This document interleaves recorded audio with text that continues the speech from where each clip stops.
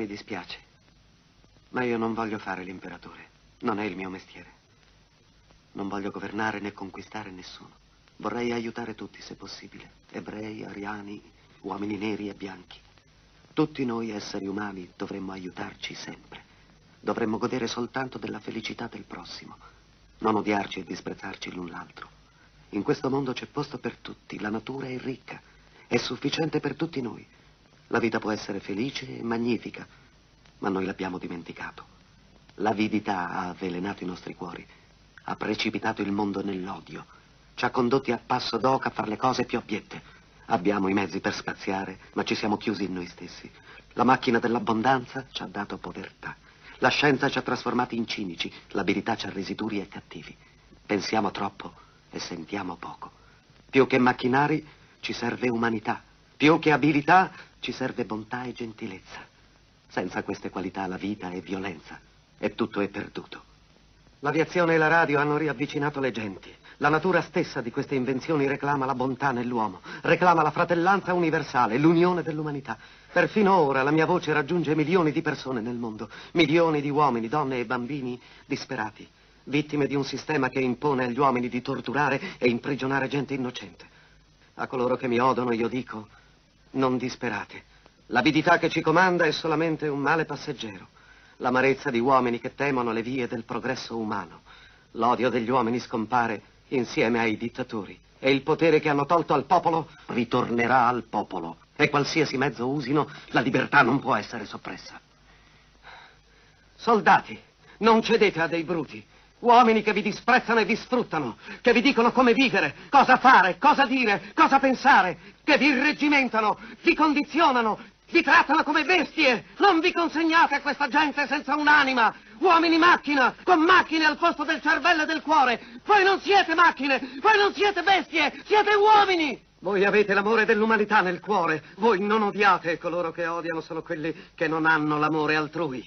Soldati, non difendete la schiavitù, ma la libertà! Ricordate, nel Vangelo di San Luca è scritto il regno di Dio è nel cuore dell'uomo, non di un solo uomo, di un gruppo di uomini, ma di tutti gli uomini. Voi, voi il popolo avete la forza di creare le macchine, la forza di creare la felicità. Voi il popolo avete la forza di fare che la vita sia bella e libera, di fare di questa vita una splendida avventura. Quindi in nome della democrazia usiamo questa forza, uniamoci tutti, combattiamo per un mondo nuovo che sia migliore, che dia a tutti gli uomini lavoro, ai giovani un futuro, ai vecchi la sicurezza. Promettendovi queste cose, dei bruti sono andati al potere, mentivano, non hanno mantenuto quelle promesse e mai lo faranno. I dittatori forse sono liberi perché rendono schiavo il popolo. Allora combattiamo per mantenere quelle promesse, combattiamo per liberare il mondo, eliminando confini e barriere, eliminando l'avidità, l'odio e l'intolleranza.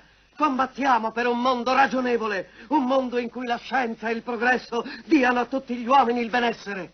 Soldati, nel nome della democrazia, siate tutti uniti!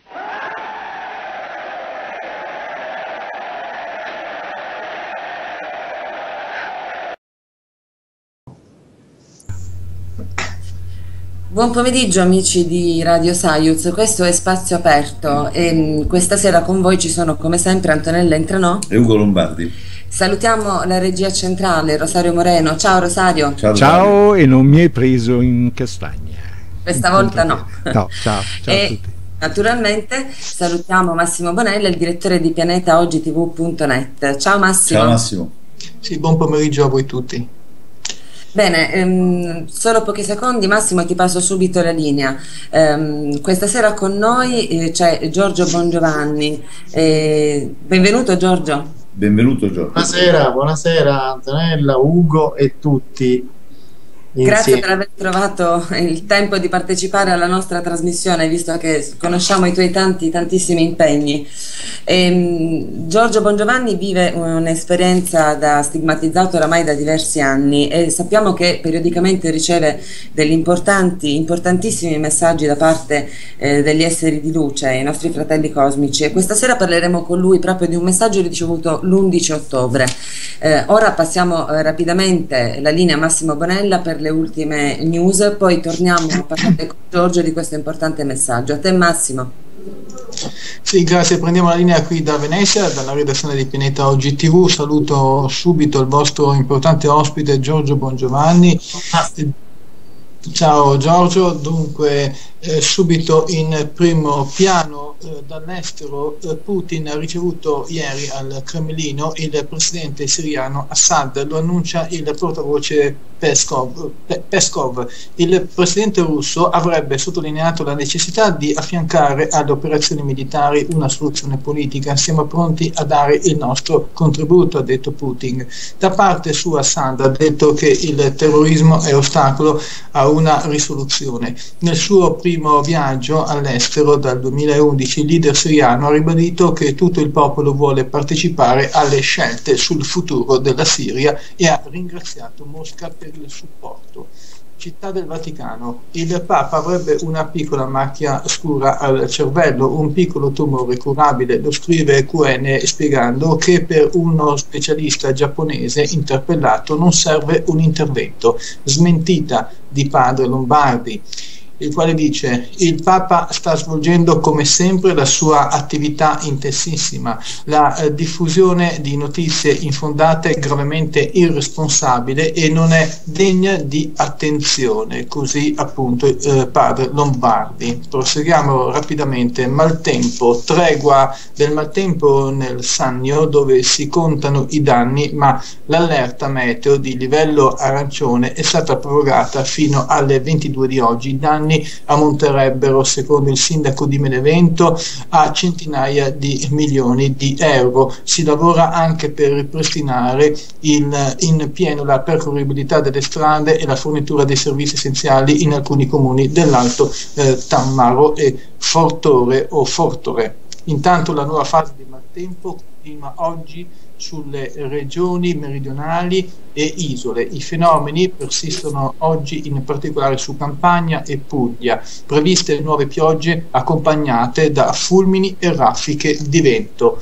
Dunque, brevemente vi informiamo di una notizia che ha avuto poco eh, risalto come al solito dai media, ci sono stati dei scontri eh, molto eh, seri ieri a Bologna, feriti manifestanti, alla fine lo sgombero è arrivato, eh, dunque dopo è arrivata la polizia e i carabinieri e questa mattina, ieri mattina hanno tentato di sgomberare appunto la palazzina dell'ex Telecom di via Fioravanti occupata da dicembre da famiglie con bambini, ci sono stati dei contusi. Ehm, stato, eh, ci sono stati dei contusi, dei feriti, eh, colpite delle persone praticamente eh, ferme e disarmate che eh, protestavano per una giusta eh, causa, così a sangue freddo. Ne ha dato ampia notizia Sky TG24, mentre c'è stato, a parte le testate locali, un silenzio dalle altre eh, testate nazionali. Eh, dunque, ancora un'altra segnalazione sulla nostra eh, testata pianetaoggi.tv.net c'è un'intervista a Don Luigi Ciotti, noi stiamo con Nino Di Matteo, poi a, a, prosi, prosi, prosegue, eh, questa in collaborazione con Antimafia 2000, poi si prosegue con eh, la collaborazione ehm, eh, di Pandora TV, c'è un'intervista dalla base NATO di Lago Patria a padre Alex Motel. Poi ancora sempre in collaborazione con Pandora TV RTSAT eh, c'è una intervista esclusiva a Vladimir Putin. È tutto da Venezia per le notizie, restituisco la linea a Bari, Antonella Entronò, Ugo Lombardi per la conduzione di Spazio Aperto. Noi ci sentiamo alle 22. Bene, grazie a Massimo Bonella per averci aggiornati sempre con tanta precisione. Bene Giorgio, come abbiamo detto in apertura, questa sera parliamo con te del messaggio ricevuto l'11 ottobre 2015, eh, messaggio al quale eh, hai allegato sul tuo sito www.giorgiobongiovanni.it il famoso discorso all'umanità che è la eh, la parte conclusiva eh, del film Il grande dittatore di Charlie Chaplin. Eh, ascoltare questo, questo, filmato è senz'altro stato molto emozionante, non per il tono incalzante del, del doppiatore, ma per quello che ehm, il discorso dice a tutti noi. Un discorso, Giorgio, fatto nel 1940, ma ancora oggi di grandissima, di grandissima attualità. Mm, come potremmo definire il tempo che l'uomo sta vivendo? All'inizio di questo messaggio da te ricevuto, dai nostri fratelli di luce, si parla di terza intifada. Siamo davvero nel tempo in cui il fratello uccide il fratello, il padre il figlio e i figli insorgeranno contro i genitori? Sì, Antonella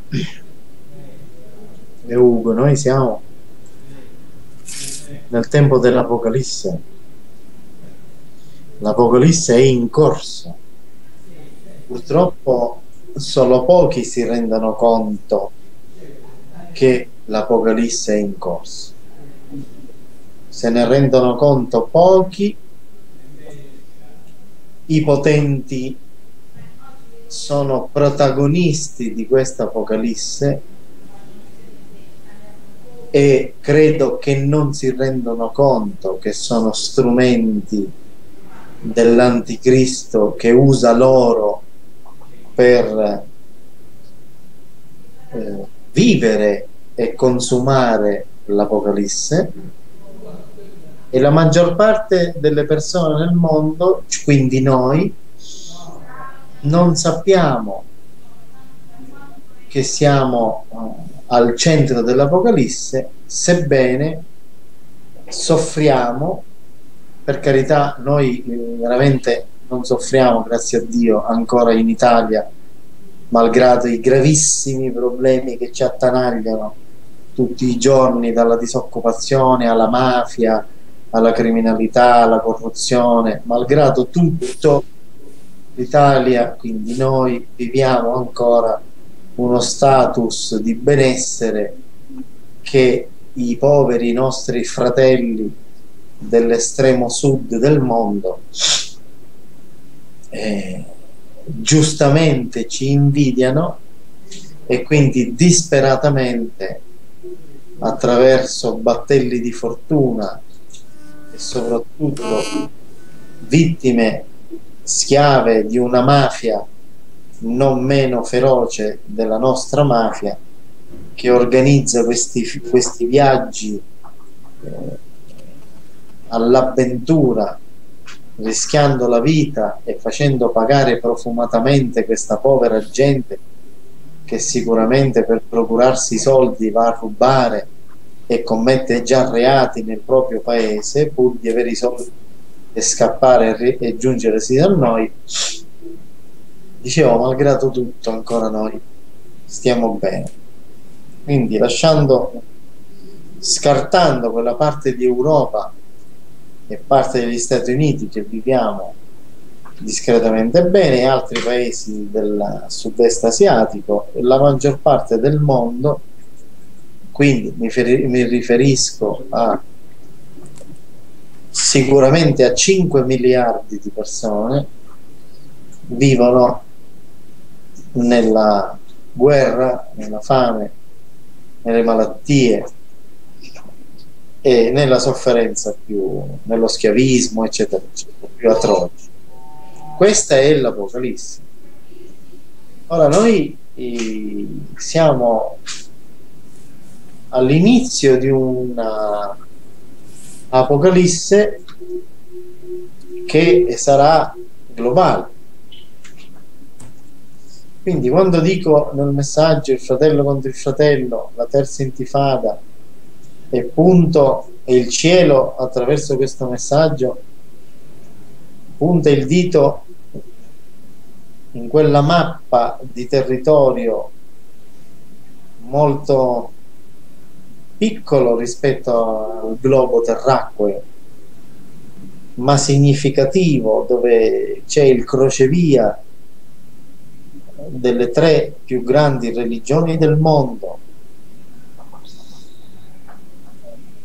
dove c'è un territorio che ha calpestato i piedi il personaggio più famoso del mondo e forse il più adorato del mondo, cioè Gesù Cristo, adorato per modo di dire, perché in realtà gli insegnamenti che il Cristo ci ha lasciato solo pochissime persone nel mondo le mettono in pratica, forse contate in una mano. Territorio che è anche centro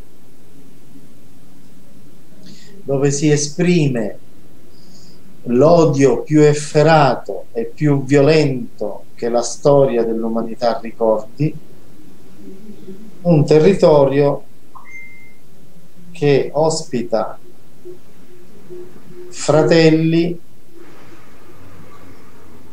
e fratelli.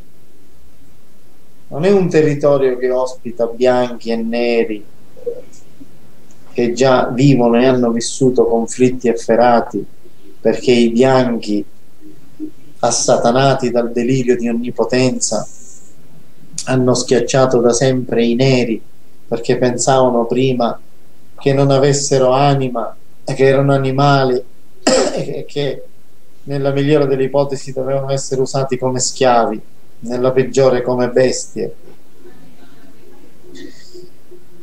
E quindi già una grande contraddizione dell'uomo che bianco soprattutto che ha dominato sulle uh, razze dei propri fratelli di colore di pelle diversa dimostrando così l'uomo di pelle bianca di avere un istinto satanico e sanguinario nel proprio gene. Qui stiamo parlando di fratelli della stessa casa della stessa famiglia figli dello stesso padre, forse madri diverse, ci può stare, ma il padre è unico, Abramo. Questi fratelli si odiano a morte, si scannano come i maiali, si ammazzano tra di loro per un pezzo di terra o per interessi economici o perché, malgrado hanno lo stesso Dio, pensano l'uno dell'altro che sono tentati da Satana. Per tutti i motivi che può creare una mente malata di potere e di violenza, questi due fratelli si sterminano a vicenda. Per la verità, il popolo ebreo della quale noi, noi nel senso di colore bianco, noi nel senso di cattolici, noi nel senso di ebrei, perché molti di noi sono di origine ebrea, di noi ebrei, abbiamo un senso di eh, autorità e di odio verso questi fratelli arabi, soprattutto mi riferisco al povero popolo palestinese e quindi schiacciamo questo popolo temendo che lo stesso possa essere infiltrato e a volte lo è purtroppo di terroristi eh, assatanati e che vogliono sterminare il popolo ebraico temendo che tutti sono di fatto dei terroristi noi noi c'è gli ebrei, il popolo di Israele, c'è il, eh, lo Stato di Israele, commette delle atrocità antidemocratiche, direi fasciste se non naziste, nei confronti di questo popolo che alla fine, togliendo i terroristi che ci sono, vuole solo la libertà e vivere in pace all'interno di uno Stato proprio come vivono 180 stati nel mondo eh, e, e cercando di realizzare la propria identità.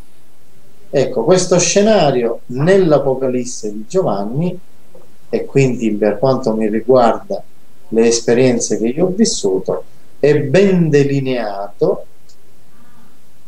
perché vi sorprenderà questo tantissimo ma il profeta che annuncia l'Apocalisse nel Medio Oriente, quindi nei territori sacri delle tre religioni più grandi del mondo e che profetizza sangue, guerre, divisioni, catastrofi, è proprio Gesù Cristo.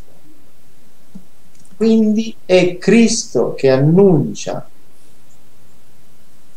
una uh, sconvolgente guerra apocalittica che ha eh, come scenario anche la, eh, la presenza o la manifestazione di eventi catastrofici naturali, quindi guerra mondiale e catastrofi naturali, e Cristo indica come punto focale di queste manifestazioni i territori sacri, Gerusalemme. Perché? Perché Cristo, eh, in quanto figlio di Dio, non essendo stato riconosciuto nella sua terra da nessuno, cioè dal popolo ebreo, e nemmeno dai laici né tantomeno dal popolo arabo che lo riconosce in parte nel Corano come semplice profeta eh, inviato da Dio eh, esprime una profezia come legge di causa ed effetto e, e infatti dice nel capitolo 24 di Matteo e in altri capitoli del Vangelo che lui non si presenterà mai più in quella terra finché non diranno benedetto colui che viene nel nome del Signore e annuncia addirittura guerre, il fratello contro il fratello, Gerusalemme che sarà circondato da eserciti,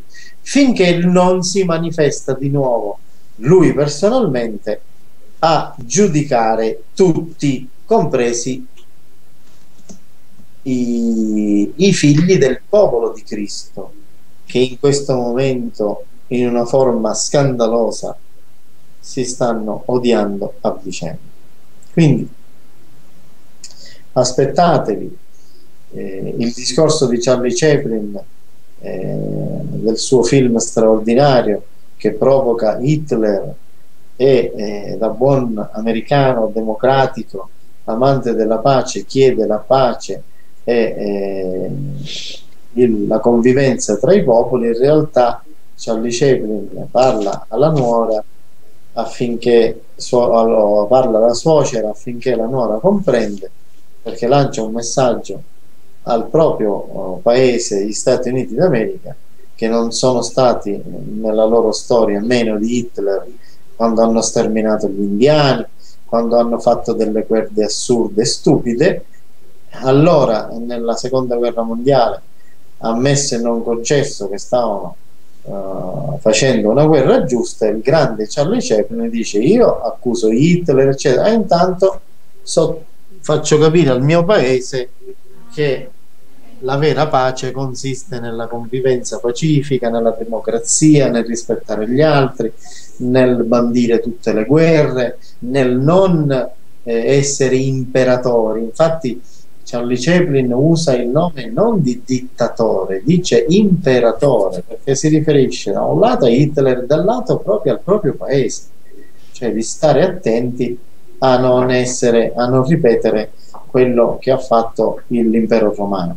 Quindi il cielo dice: state andando avanti così, ecco, vi aspetteranno delle, eh, de, delle grandi eh, catastrofi finché ritornerà il figlio di Dio per restaurare sulla terra il nuovo regno. Questa è diciamo, la sintesi di questo messaggio. Eh, Giorgio, ma eh, sono, decenni decenni che arrivano eh, ammonizioni, ammonimenti e anche messaggi di questo tipo. Loro, loro che riescono a vedere il futuro sanno come va a finire, ma se per assurdo l'uomo riuscisse a redimersi, secondo te avrebbero messaggi contenuti diversi?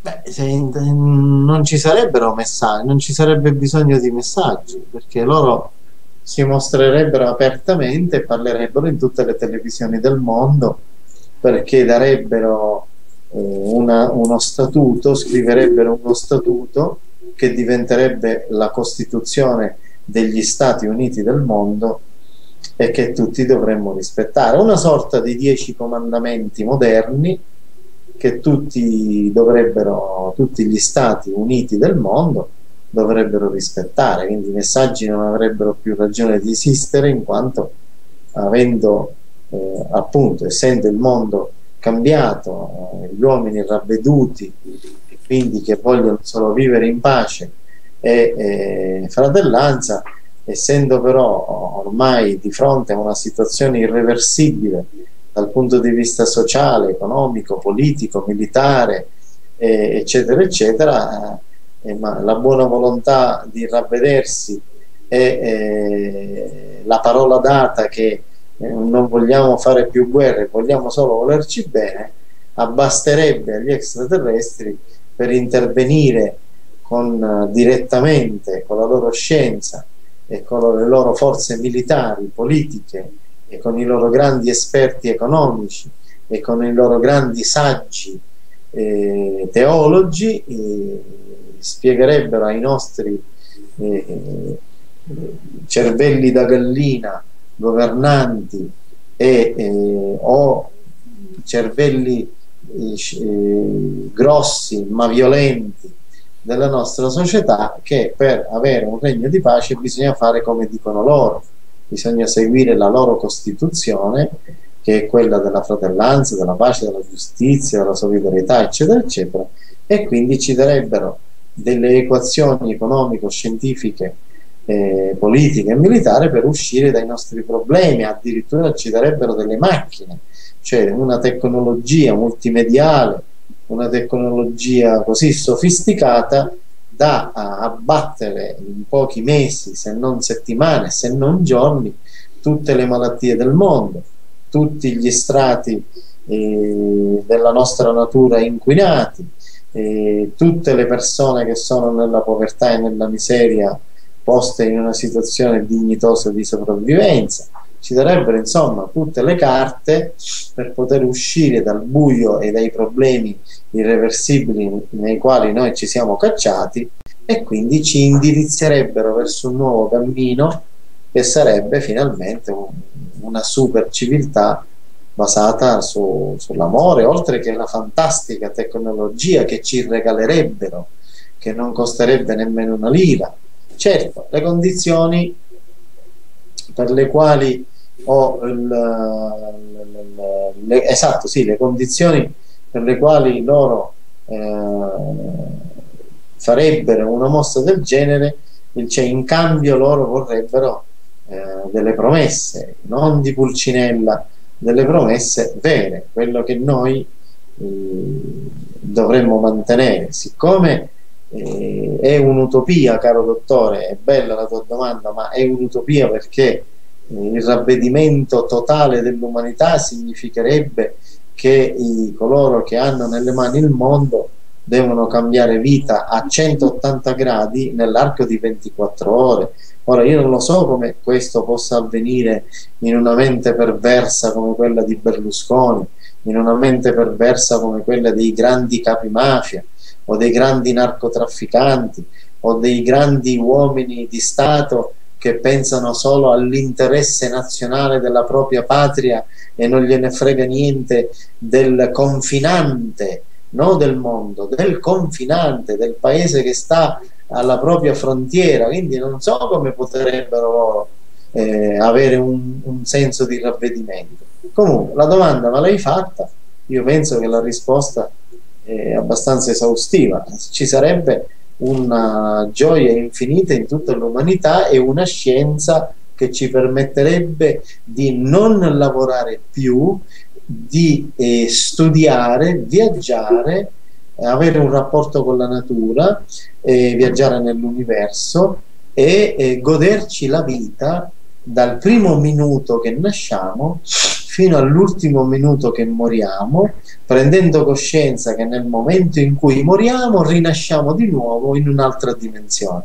Quindi più bello di così, veramente io non lo so che cosa ci potrebbe capitare. E appunto il paradiso, si parla di paradiso, il paradiso è questo, quello che ho appena accennato e non qualcosa di impossibile da realizzare come invece oramai è convincimento diffuso. D'altra parte Giorgio, nel, nel eh, messaggio da te eh, ricevuto, sì, ovviamente c'è un ammonimento serio, un ammonimento eh, quasi un ultimatum mi verrebbe da dire perché eh, oramai sembra che davvero non, non, ci sia speranza, nel senso che l'umanità ha intrapreso questa strada e il fine sembra essere la sua autodistruzione. Ma è pur vero che questi messaggi, nella loro durezza, hanno comunque sempre un fondo di speranza, che è quello che poi consente ad ognuno di noi di andare avanti, e cioè tutto quello che sta accadendo eh, sono tutti quei segni che anticipano la seconda venuta di Cristo. Ma cara, non è che hanno un segno di speranza, hanno un, sono un avviso di certezza. Che la speranza è un bellissimo sentimento con il quale io ci convivo ogni giorno. Che cosa si ha speranza? Che il male possa cambiare. La speranza che domani invece di piovere ci possa essere una bella giornata. La speranza che la mia dichiarazione d'amore a una donna viene corrisposta, la speranza che mio figlio che nasce non si ammali, eh, la speranza che io possa eh, vivere 150 anni invece di 70, 80. E la speranza è, una, è, una, è be un bellissimo sentimento e anche una bellissima eh, antibiotico, se vuoi, o una bevanda che ti fa eh, assaporare e anche a volte eh, dissetare. Ma la certezza è un'altra cosa. La certezza è che domani il sole sorge. La certezza è che noi moriremo fisicamente. La certezza è che noi sicuramente eh, se, non se non ci fosse l'aria moriremo, se non ci fosse il sole moriremo. La certezza è che noi possiamo dire eh, io sono, esisto, non è un'illusione. Ecco, con questi piccoli esempi vi voglio dire che per me la certezza è che Cristo ritorna, la certezza è che questo mondo tra non molto, tra pochissimi anni, si avrà un capovolgimento di fronte, cioè si, si vivrà in pace, si vivrà con la ricchezza più assoluta. E intendo dire che tutte le persone avranno una salute ottima, avranno un corpo atletico, che avranno, saranno tutti belli, che avranno una, un amore interiore eh, infinito tra di loro, amicizia, che il sentimento dell'odio sarà bandito, che la terra splenderà di, di, fiori e frutti, che avremo mezzi di comunicazione mille volte superiori a quelli che abbiamo adesso, che avremo delle macchine che possiamo usare, chiamiamole Ferrari, Porsche, tutti, nessuno escluso, e viaggiare nell'universo, che avremo delle scuole dove viene insegnata la teologia, la scienza, la biologia, l'antropologia, la letteratura, la filosofia, questa è la mia certezza. Quindi se voi mi chiedete ma tu come stai? Bene, sono l'uomo più felice della terra, perché tra qualche anno si, veri- si avvererà il mio sogno. Quindi dici perché piangi, perché ti incazzi, perché gridi? Perché vedi i miei fratelli che dormono, perché vedo la fine che faranno tutti quelli che non credono a quello che io credo. Faranno una fine brutta, cioè andranno nel buio, soffriranno, si contorceranno le carni, si molderanno la lingua a sangue, si sbatteranno la testa nel muro fino a farsi scoppiare il cervello, si uccideranno. Io piango per queste persone che non essendo coscienti che ci sarà un mondo migliore, oppure non solo questo, ma anche non essendo coscienti di questo e fanno del male a loro stessi, ai bambini e agli altri, avranno questa ricompensa. Io piango e soffro per queste persone, mi arrabbio, grido come un pazzo perché vorrei che queste persone si risvegliassero e mi accompagnassero, ci accompagnassero in questo mondo migliore che ci sarà Antonella. Tu puoi scommettere con la tua vita che ci sarà, anche tu dottore, al 100%, però questo mondo del quale io vi ho appena descritto, ce lo dobbiamo conquistare qua, in questo momento di tenebre, e dare tutta la nostra vita, escluso nulla, per candidarci a essere eletti a quel mondo. Perché se noi non daremo tutta la nostra vita, tutta significa tutta, escluso niente, noi ci contorceremo insieme a quella povera gente nel buio e nelle tenebre, perché la condizione che il Cristo ci chiede per avere quella ricompensa immensa è che noi adesso dobbiamo rinunciare a tutto e dare la nostra vita per risvegliare tutti i nostri fratelli che dormono nell'oscurità. Nell'oscurità e nella passività mi verrebbe voglia di, di aggiungere perché l'atteggiamento è sempre più rassegnato alla fine. Nell'indifferenza, nella rassegnazione, sì. nel materialismo, perché le persone, eh, se adesso tutte le persone che mi ascoltano, se adesso mi ascoltasse in diretta tutta l'umanità, 5 miliardi di persone, mi si taglierebbero le vene dalle risate o si taglierebbero le vene dalla noia o dalla paura ma per tutti questi ed altri sentimenti non mi crederebbero assolutamente. E questa è la mia disperazione, non essere creduto. E quindi, eh, ma eh, al di là di questo, io sono un uomo felice, sono, sto, sto, vedendo all'orizzonte eh, eh, il, il sorgere della nuova era, già lo vedo, però vedo, come vi ho detto, anche alla mia destra un, un pozzo nero all'interno del quale ci sarà, uh, si immergeranno miliardi e miliardi di persone che non hanno creduto a quello che ho creduto io. Eppure Giorgio, al di là di come la si pensi, al di là del credo religioso, politico, tutto quello che vogliamo, i corsi e i ricorsi storici ci sono stati. Da sempre ehm, c'è questa questo susseguirsi, questo avvicendarsi di eh, punizione, di pentimento, eh, di, di, di, rinascita, ma cos'è, cos'è che impedisce all'uomo di mantenere la memoria storica di quello che è accaduto all'umanità? Perché intanto, c'è questa ciclicità di errori? Intanto siamo all'ultimo giro di corsa, quindi non si ripeterà più niente. La storia non si ripeterà più. Questa è l'ultima volta che si ripete eh, la prossima generazione non ripeterà niente perché la prossima generazione non sarà più la stessa. La prossima generazione, vi ho detto poc'anzi, che sarà diversa. Ho paura che se continua così la situazione in questa generazione, la prossima che erediterà un mondo migliore, non ricorderà nemmeno l'esistenza di questa generazione adultera e malvagia per evitare shock traumatici e per evitare collassi e depressioni. I geni cosmici, quindi Dio, lo Spirito Santo, chiamatelo come volete, probabilmente nella prossima generazione cancellerà con un software nel cervello eh, il ricordo di questa generazione della quale, ripeto, se continua così, non rimarrà nemmeno memoria dell'esistenza di questa generazione adultera e malvagia.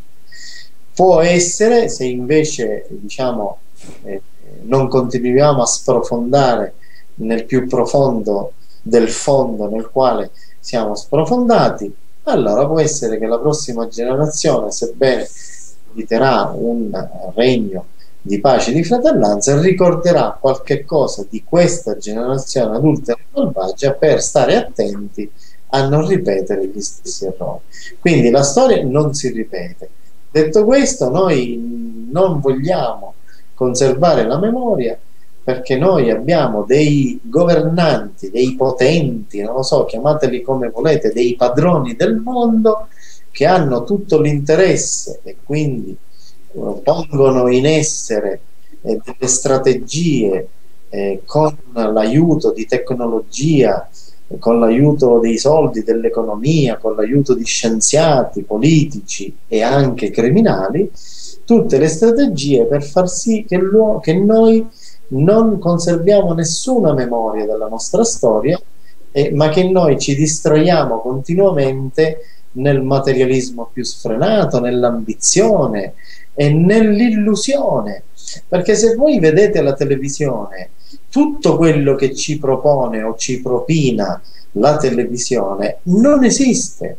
O se esiste, esiste solo in, in piccolissime percentuali eh, per quanto riguarda le persone e se dovesse esistere anche in quelle piccole percentuali sono alterate. Mi spiego, se voi vedete eh, continuamente eh, che in televisione vengono proposti dei grandi idoli, dai grandi calciatori, ai grandi cantanti, alle grandi modelle, ai grandi imprenditori, eh, tutte quelle cose lussuose che vengono proposte, macchine, grandi hotel, grandi, grandi svaghi, tutto cioè quel mondo fatato. Chi lo vive in realtà? Lo vivono su 7 miliardi di persone. Vogliamo essere eh, magnanimi, 100 milioni di persone, 200 milioni, quindi è un e, e, lo vivono poi attenzione con i loro gravi problemi di depressione, di droga, di sniffamento di cocaine, di amanti, di, di omicidi, di invidie, di gelosie, quindi malgrado vivono in quel castello fatato, i loro problemi personali di uccisioni, di tradimenti, di corna, eccetera, non sono felici. Mentre la televisione che cosa ti propone? Che quella è la vera felicità, avere tutti quei soldi, avere tutte quelle donne, avere tutti quei vestiti. Ma chi lo vive? Nessuno. Quindi la televisione propone delle cose che non esistono e che non sono alla portata di quasi nessuno. Il popolo, 8-10 milioni di telespettatori, quando in Italia vedono eh, 22 giocatori o che vedono uh, delle pubblicità dove si presentano dei prodotti che mai nessuno potrà comprare o che quasi nessuno ha la possibilità oggi di comprare. Quello che significa che il potere ti vuole distrarre, vuole crearti dei miti che tu non potrai mai raggiungere appunto per non farti pensare, appunto perché tu possa perdere la memoria della tua esistenza, del tuo paese, della tua storia, eccetera, eccetera. Questo perché ci vogliono proporre un nuovo vitello d'oro da adorare, evidentemente. Scusa il gioco di parole. Il vitello d'oro da adorare, cara, alla fine se lo sono adorati. Il vitello d'oro da adorare eh, l'hanno toccato tutti sbagliando. Lo baciavano tutti il popolo ebreo, lo potevano toccare. Oggi ci propongono in televisione persone che tu non toccherai mai. Ho letto una polemica, tra l'altro, di un cantante che io amo tanto, Claudio Baglioni una polemica che lui eh, lo volevano salutare e le guardie del corpo hanno allontanato, hanno picchiato. E quindi vedi tu un tizio che fa delle bellissime canzoni straordinarie che, con le quali siamo cresciuti tutti, ci siamo innamorati tutti, io compreso, poi nella realtà vuoi anche dire ciao, buonasera a uno di questi e non è irraggiungibile, intoccabile, forse alla fine non esiste nemmeno, chissà, faccio un esempio per provocare ovviamente, chissà se veramente quello è il vero Claudio Baglioni, visto che nessuno lo può avvicinare, nessuno ci può parlare, nessuno può avere un, mangiarsi una pizza con lui, quindi noi viviamo continuamente di fronte a delle illusioni, invece prima il Peppino Di Capri, lo stesso Claudio Bagnoni negli anni 70, tu lo incontravi a piazza Navona a Roma e ti prendevi un caffè con lui, ci parlavi e magari ti facevi uno spinello, ma oggi Claudio Baglioni non puoi più avvicinarlo, forse non esiste, quindi questa è la situazione nella quale ci troviamo, una situazione veramente eh, drammatica, inquietante. Giorgio, ti rivolgo, ti giro una domanda che è arrivata in chat eh, da parte di Cecilia e dice Ciao Giorgio, vuoi commentare la notizia della macchia nel cervello del Papa? È un segno che si sta cercando di screditare il suo operato e le sue idee che danno fastidio a qualcuno dentro il Vaticano? Ma guarda, non ne ho idea, non ho nessun messaggio dal cielo su, questo, uh, su questa notizia, l'unica cosa che posso dire a prima acchito ma proprio per l'esperienza che ho, se è vero e che ha questo tumore, è poveretto, si vede che Dio se lo vuole chiamare e sono contento per lui perché non vorrei essere nella sua posizione. Se non è vero è perché stanno, ci stanno preparando con molta intelligenza diabolica che lo devono fare fuori. Quindi nel momento in cui lo fanno fuori se ne esceranno con una bella bella, un bell'alibi che era malato al cervello e quindi è morto così. In realtà forse lo vogliono avvelenare, lo vogliono uccidere. Si Ma ripeterebbe la storia di Papa Luciani?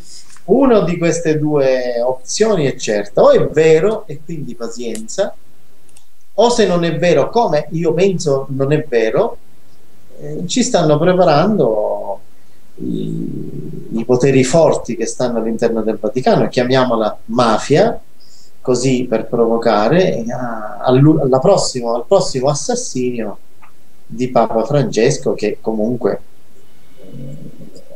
eh, sta dando agio a, a, a, certi poteri criminali dentro il Vaticano a organizzare un assassinio perché sta facendo delle riforme che al potere ortodosso economico politico eh, e di potere del Vaticano non piace certamente Giorgio, sappiamo che tu devi scappare, il tempo di un'ultima domanda da parte di Ugo e poi ti sì, liberiamo. Prego. Eh, sì, è una domanda perché tutto inizia e finisce secondo te a Gerusalemme? O dovrebbe finire a Gerusalemme? Ma non è che finisce, diciamo che si trasforma, perché l'ultimo popolo che Dio ha scelto come eletto è stato quello ebreo prima dell'incarnazione di durante, prima e durante l'incarnazione di Cristo, prima, migliaia di anni prima e durante l'incarnazione di Cristo.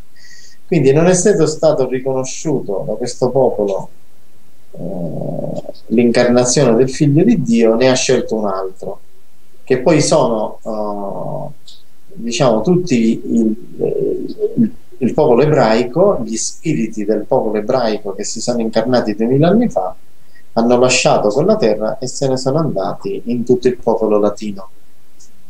Latino, italiano, latino americano, ispanico, francese, tutto il popolo latino ha uh, praticamente i veri cristiani ebrei che duemila anni fa hanno riconosciuto Cristo si sono incarnati in queste terre. Quindi i, il cerchio si deve chiudere a Gerusalemme perché, eh, e questo non lo so, veramente non lo so, perché Cristo deve chiudere quel cerchio con quel popolo affinché possa gettare il seme per un nuovo popolo, che poi, ripeto, sono le stesse persone che eh, da un'incarnazione sono passate a un'altra. Bene, mm, se, se Ugo non ha altre domande, cioè noi in realtà ne avremmo una marea di domande da farti, però purtroppo eh, sappiamo che ci devi lasciare e mh, mm, ti ringraziamo Giorgio, ti ringraziamo Beh, sempre. Vi abbraccio tutti, seguite le notizie, eh, seguite i segni e ricordatevi, lo voglio dire soprattutto ai ragazzi, siate felici, siate tristi, e piangete, battagliate, arrabbiatevi per i vostri fratelli che soffrono, ma per voi stessi se avete realizzato e credete che ci sarà un mondo migliore dovete essere felici, anzi eh, inculcare questa felicità al prossimo che pensa che non ci sarà più niente, che finirà tutto e che tutto saremo. Un abbraccio. Grazie, grazie per lasciarci soprattutto con questa certezza. Eh, grazie e buon lavoro sempre. Grazie e buon lavoro Giorgio.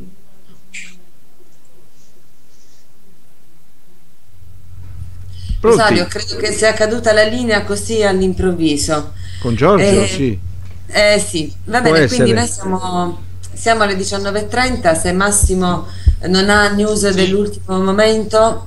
Sì, ve la, do, ve la do subito, eh, sempre che non mi scappi via. Dunque, dall'estero, Corte Stati Uniti, Antonin Scalia, o Scalia uno dei saggi della Corte Suprema degli Stati Uniti apre una possibilità eh, scusate, apre a una possibile decisione sull'incostituzionalità della pena di morte. Non sarei sorpreso, dice, se fosse abolita, ha detto il giudice durante un eh, intervento all'Università del Minnesota, eh, secondo quanto riportano alcuni media degli Stati Uniti. Questa è dunque l'ultima notizia che mi è arrivata qui in rete.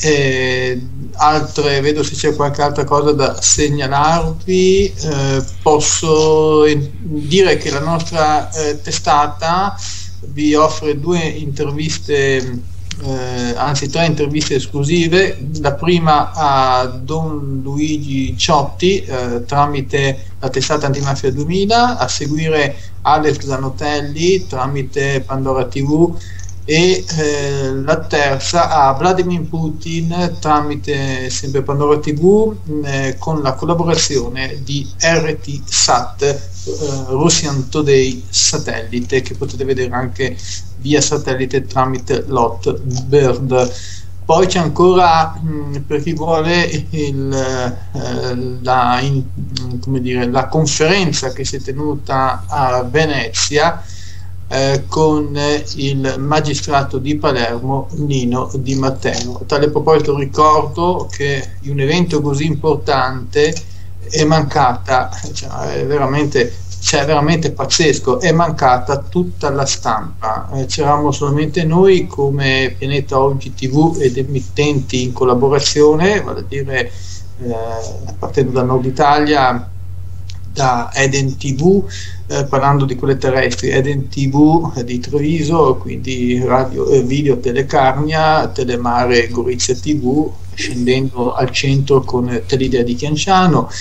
Poi per quanto riguarda le radio, questa radio Saius TV di Rosario Moreno e quindi RNM Nuova Musica di Pordenone, Radio Piper di Fontana Fredda ed RBC di eh, Grosseto. Ah, e anche eh, molto importante l'emittente radiofonica che ora è passata online, Rete 100 Passi. Ecco, eh, dunque il resto, mh, mm, cioè, nei giornali locali, cioè, niente, non c'era nessuno. Cioè, si ripete, Antonella, la stessa situazione come all'epoca con eh, Giovanni Falcone e Paolo Borsellino.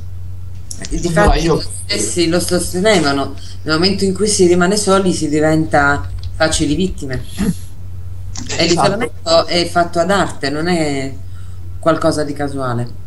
Si va a isolare, si vuole isolare un magistrato, un, una persona importantissima che rappresenta l'istituzione italiana, che lotta con tanto di minaccia da, da mister Totorina in galera che sta marcendo là dentro. Ecco malgrado questa diciamo eh, minaccia molto pesante questa grande persona che è Nino Di Matteo sta lavorando, sta rappresentando l'istituzione sana dell'Italia e poi come premio viene isolato piuttosto che supportato dallo stesso Stato. Cioè io questo è incredibile, poi che voglio dire nessuna testata sia, sia stata presente, cioè, ma nemmeno quelle locali, cioè voglio dire un evento così importante, abbiamo visto i precedenti, eh, Salvatore Borsellino, poi Giovanni Falcone e così anche gli altri, però c'è una differenza eh, questa volta e chiudo piccolo, questa piccola riflessione che nel caso degli, dei precedenti magistrati erano isolati anche dalla popolazione, la popolazione si è svegliata solamente durante i funerali. E adesso invece la popolazione è presente, è cosciente, vedi per esempio le scorte civiche che sono attorno a Palazzo di Giustizia. Ecco, quindi le cose stanno cambiando eh, io poi, vabbè, essendo della categoria, di questa categoria eh, dei giornalisti, ecco, vado a reclamare, eh, a rivendicare il fatto che non sono presenti in questi eventi importantissimi. Ecco. Eh, un... Questi giornali devono parlare del, dei campionati di calcio, che sono molto più importanti, o di Sanremo o di altre gare no, can- vabbè, magari... canora, insomma, ma... sono argomenti molto più importanti, ci mancherebbe altro. Ah Ah sì sì, beh, certamente, o come le, le, o come le, le, le, le possiamo le... parlare di altro, ci sono questi argomenti così importanti, la gente è, è molto coinvolta, no? Quindi... Ah, oh, guarda, infatti io a volte giro i canali, vedo una contessa di qua, una miss di là, un calciatore di qua, una futura calciatrice di là, cioè, voglio dire, personaggi in, grandi imprenditori, un po' quello che diceva prima eh, l'importante ospite che avevate in, in, collegamento, Giorgio Bongiovanni, che conosco da, da anni. Ecco, e allora sto, guarda, ehm, Posso dire una cosa? Sto eh, selezionando i canali, sto ripulendo il telecomando. Bravo. Posso dire una cosa? Volevo sapere ah. da voi se avete sentito la notizia, perché questo è un articolo che è uscito sul fattoquotidiano.it a firma di Giuseppe Pipitone, no? È una cosa che mi sembra abbastanza un po' agghiacciante, per quanto la vedo io, eh. perché dice che il giudice antimafia Saguto è stato intercettato sui Borsellino e sembra che abbia detto Manfredi squilibrato, Lucia cretina precisa. Insomma, l'ex presidente della sezione misure di prevenzione del Tribunale di, di Palermo, sulla quale indaga la procura di Caltanissetta, dopo aver partecipato alla manifestazione Le vele della legalità, eh, sale sull'aula blindata, telefona a un'amica e insulta il magistrato ucciso nel 92 e dice, eh, sul figlio dice ma perché, mh, mm, perché minchia ti commuovi a 43 anni per un padre che ti è morto 23 anni fa? Non vi sembra una notizia abbastanza agghiacciante?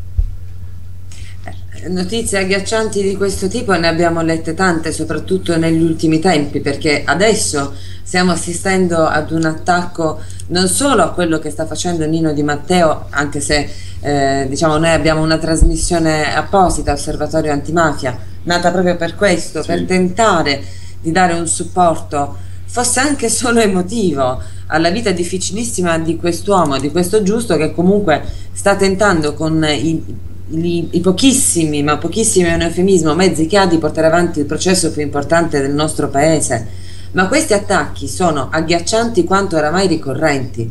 Quello che mi sconvolge più di tutto non sono questo genere di affermazioni, ma come sempre la passività di ognuno. Ecco, io non capisco come di fronte a situazioni di tale gravità, di, di evidente eh, divisione fra uno Stato eh, reale, uno Stato composto da cittadini che ogni giorno produce, nel senso di, dà il suo contributo per il buon funzionamento di tutto l'asse della, della nostra società. È un, un drappello di, di, di, manigoldi, mi viene da dire, che eh, svolge funzioni di parassita più che altro. Quello che mi stupisce è la nostra assoluta e totale indifferenza. Il dire, ah vabbè, ma tanto non ci si può fare nulla, questo ormai è un sistema così incancrenito, così ben installato, che non si cambieranno le cose. Abbiamo parlato con Giorgio proprio per questo. Abbiamo parlato con Giorgio per dimostrare che non è vero che le cose non cambieranno. L'ho detto anche mentre parlavamo con lui, eh, a prescindere da quello che si crede eh, da un punto di vista religioso, da un punto di vista politico, quello che si vuole. La situazione che l'umanità vive è sotto gli occhi di tutti noi, no? credo che tutti noi constatiamo sì, sì. l'assoluto disastro. Dimmi. Quindi c'è una certezza, una certezza di cambiamento. Ora sta a noi decidere quando e come. Possiamo anche decidere di non farlo mai, ma in quel caso non è giustificabile che si vada in giro tutti con i musi lunghi, perché tutti sono insoddisfatti e frustrati, però non fanno nulla per cambiare. Cesario, certo. se fossi un giudice, se fossi un giudice chiederei di andare a lavorare accanto a Nino Di Matteo in Sicilia ma lo possiamo certo. chiedere anche senza essere giudici. Senza essere giudici. Non so quanto potremmo lavorare senza essere giudici. Noi possiamo cominciare... Ma se fossi un giudice andrei a lavorare con lui. Ma noi possiamo cominciare a lavorare come cittadini. Cioè, questo già lo facciamo. Ma dobbiamo essere di più. A tal proposito vorrei ricordare a tutti gli ascoltatori che il 14 novembre, sabato 14 novembre, c'è una manifestazione organizzata a Roma quindi ehm, sul, su Facebook trovate eh, la pagina proprio con eh, l'evento, siamo tutti Nino Di Matteo. Eh, cercate le informazioni che vi occorrono, potete ehm, spostarvi con degli autobus a dei prezzi davvero molto molto economici perché i tempi sono quelli che sono, quindi bisogna fare anche i conti con la praticità. Ma cercate di essere, cerchiamo di essere numerosissimi, cerchiamo veramente questa volta di non subire passivamente tutto quello che è accaduto nel 92 e anche prima perché i morti per mano di mafia sono tantissimi e non sono soltanto non si sono verificate solo nel 92 queste stragi. Quindi il 14 novembre a Roma è possibile aderire a questa iniziativa importantissima perché così dimostriamo e diamo sia sostegno e supporto a Nino Di Matteo come uomo ma soprattutto la diamo alla sua azione di giudice il processo che sta portando avanti lui e i suoi colleghi a Palermo è il più importante che si sia mai celebrato nel nostro paese. È scandaloso che uno Stato metta sotto accusa se stesso per stabilire quanto e come ha collaborato con la mafia, quindi col sistema criminale organizzato più affermato e imposto al mondo. Ma noi questa volta abbiamo la possibilità di fare quello che non abbiamo fatto prima, Quindi lo ripeto, cercate su Facebook le pagine degli eventi, rivolgetevi ai gruppi delle agende rosse della vostra città o della provincia, sicuramente ne troverete tante che vi potranno supportare e informare, ma siate presenti mercoledì, eh, sabato 14 novembre a Roma, questa volta questo appuntamento non lo possiamo mancare perché io, non so voi, ma io non ho più voglia di eroi morti, preferisco un giudice vivo che abbia la possibilità di portare avanti il suo lavoro per ripristinare gli equilibri e riportare un po' di giustizia sociale soprattutto. Ma io, guarda, un applauso, un applauso guarda, Antonella, eh, ti faccio un plauso perché veramente condivido in pieno e vorrei dire anche a tutte quelle persone che a volte hanno da dire nei nostri confronti, ma voi siete sempre impegnati, non vi godete mai la vita, non andate in ferie, non andate di qua, non andate di là oppure non so anche ci sono a volte eh, casi come anche le stesse eh, come dire compagne dicono al proprio lui eh, ma insomma tutti questi impegni insomma è lì ecco che viene a meno perché succede anche di queste cose qui anche a livello personale tanto per essere molto chiari no? allora io vorrei dire a queste persone qui eh, come a me mi è successo anche una volta in autobus che una donna mi, mi, ha, mi, ha, detto questo. Allora vorrei che eh, guardassero l'operato di alcune associazioni, qui potrei fare anche dei nomi, il Sicomoro per esempio a Pordenone, eh, l'associazione Giordano Bruno a, a Porto Sant'Elpidio, un punto all'infinito, eccetera, eccetera. No? Queste persone sono eh, degne del massimo rispetto ed è tutta la, la, la, stima più possibile in assoluto perché si fanno un mazzo così con tutti i problemi lavorando dalla mattina alla sera anche noi freelance comunque ci, ci mettiamo in mezzo perché non è questo il nostro lavoro purtroppo altrimenti potremmo fare ben di più. E eppure malgrado tutto hanno il tempo al fine settimana di impegnarsi per portare avanti queste iniziative per sociale eh, conferenze, organizzare convegni, insomma amplificare questi messaggi. Ecco, queste persone qua, allora cosa sono? Cioè, non so, perdono tempo? No, gli va tutta la, la, la loro stima, piuttosto gli altri che vengono a fare a noi queste critiche, è bene che inizino a fare qualcosa di buono durante la giornata, almeno una cosa, e non, non fare niente eh, dalla mattina alla sera a guardare i negozi dopo le ore lavorative in fabbrica o negli uffici o dove cavolo sia. Ecco, tanto per essere mo- mo- molto chiari, alle 19.44 e con questo io vi restituisco la linea da Venezia e ci sentiamo alle 22 per un repiego delle notizie a meno che non avete delle domande comunque a voi, eh, a voi studio. Eh, penso che, che, ormai si debba chiudere perché Rosario siamo proprio in stra ritardo però devo sì assolutamente salutare con tantissimo affetto, sia io che Ugo naturalmente, Flavia Baldo che eh, ci ha seguiti e alla quale mandiamo davvero un grande bacio. E ringraziamo naturalmente tutti coloro che hanno voluto dare il contributo personale sulla chat di Radio Science, quindi eh, ringraziamo e salutiamo Anon4910 e siamo d'accordo con te quando dici che le tradizioni sono alla base, sono molto simili alla base delle due culture, ma purtroppo hai ascoltato anche tu Giorgio, se non c'è un deciso cambiamento nell'uomo, ogni diversità sarà sempre troppo difficile da, da, da superare. E ringraziamo anche eh, Anon 4910 ehm, che ci ha seguiti e ci ha mh, dato il suo contributo sempre sulla chat e Anon 5120 bene allora noi vi salutiamo eh, ringraziamo te Rosario e te Massimo Bonella ricordiamo che ehm, ognuno può visitare il, visi, il, il sito di Giorgio Bongiovanni www.giorgiobongiovanni.it eh, potrete ritrovare notizie interessantissime anche sui cerchi nel grano, le ultime immagini eh, di oggetti filmati e avvistati eh, dai, mm, dagli, dai nostri Skywatcher naturalmente. E vi diamo appuntamento alle 22 o altrimenti mercoledì prossimo sempre alle 18.30 con spazio aperto su Radio Saiuz. Grazie a tutti e a più tardi. Arrivederci. Grazie a tutti quanti, ciao ciao, buona serata, a dopo. Buona cena.